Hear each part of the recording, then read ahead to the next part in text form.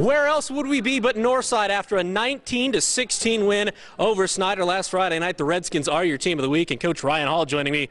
And Coach, it had been 20 years since you guys beat the Panthers. These kids behind us, they weren't even born when that happened. What does a win like that mean for this program? Uh, it's just it's great for our kids. It shows their hard work has paid off.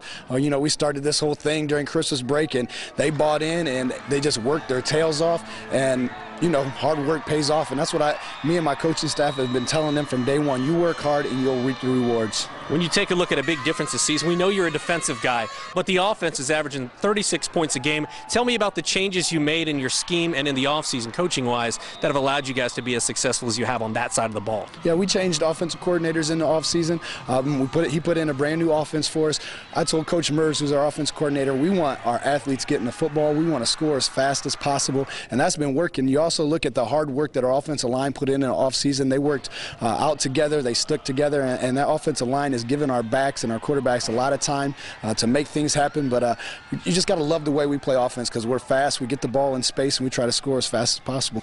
Doesn't get any easier this week. You got Luers at Chambers Field. What's going to be the key because the SAC title is definitely on the line this Friday? Oh, I'll tell you this. There's a lot of excitement in our building right now. We got a.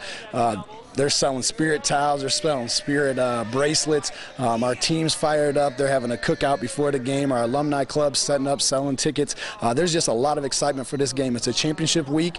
Uh, we also know that there's two weeks after this too. So uh, we're going to get prepared here uh, right after this interview and just get ready for Bishop All right. Congratulations to the Redskins. They are your team of the week.